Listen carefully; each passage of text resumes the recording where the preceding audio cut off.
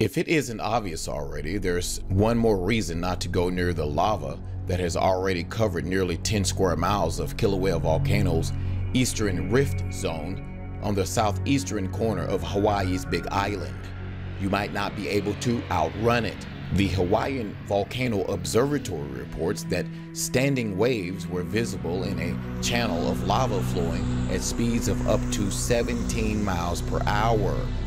Of course, the eruption slows down as it spreads out, forming so-called Pahoehoe flows that creep along. But it's important to know just how fast the stuff can move because there's no reason a channel can't suddenly change. Running at 17 miles per hour would be pretty fast sprint for a person that's in good athletic shape.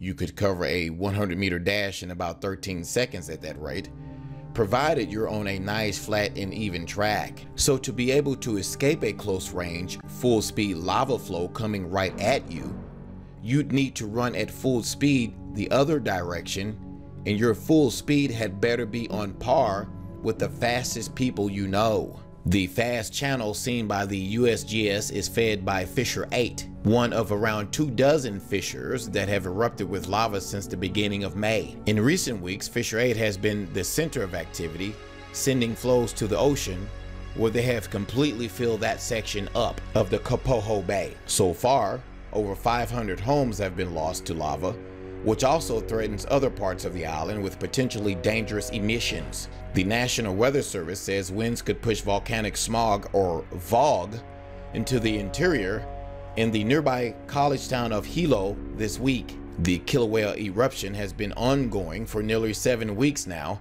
and it's unclear how much longer it could last.